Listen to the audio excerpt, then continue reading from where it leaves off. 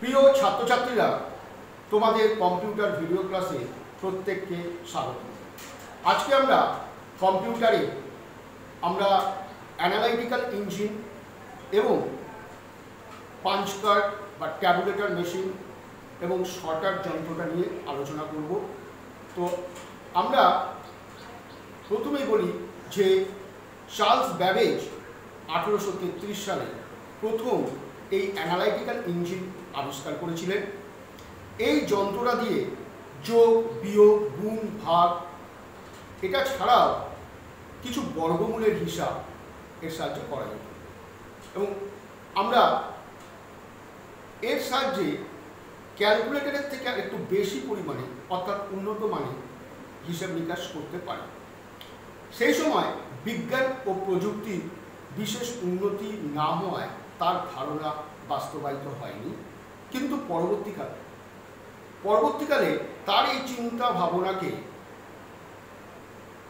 পাথেয় করে বিজ্ঞানীরা আধুনিক কম্পিউটার আবিষ্কার করে। তাই চার্লস ব্যাবেজকে কম্পিউটারের জনক বলা হয়। তো চার্লস ব্যাবেজ দুটি যন্ত্র আবিষ্কার করেছিলেন যে হলো ডিফারেন্সিয়াল ইঞ্জিন আর একটা হলো অ্যানালাইটিক্যাল ইঞ্জিন। আগের দিন আমি ডিফারেন্সিয়াল ইঞ্জিন নিয়ে বলেছিলাম, আজকে আমরা অ্যানালাইটিক্যাল ইঞ্জিন সম্বন্ধে আলোচনা করলাম। এরপরে আমরা চলে আসি পাঞ্চ কার্ড বা ট্যাবুলেটার মেশিন তো পাঞ্চ কার্ড বা ট্যাবুলেটার মেশিনটা তৈরি করেছিলেন হারমান হালেরি এবং তিনি আঠেরোশো নব্বই সালে এই যন্ত্রটি তৈরি করেছিলেন। এই যন্ত্রতে পাঞ্চ অর্থাৎ কিছু ছিদ্রযুক্ত কার্ড ব্যবহার করেছিলেন এবং এটাতে এটার সাহায্যে তিনি পরবর্তীকালে সেন্সাস, আমেরিকার যে সেন্সাস হয়েছিল, তখন তার জনগণনা জন্য এটি ব্যবহার করা হয়েছিল। এই যন্ত্রটি ব্যবহার করা হয়েছিল।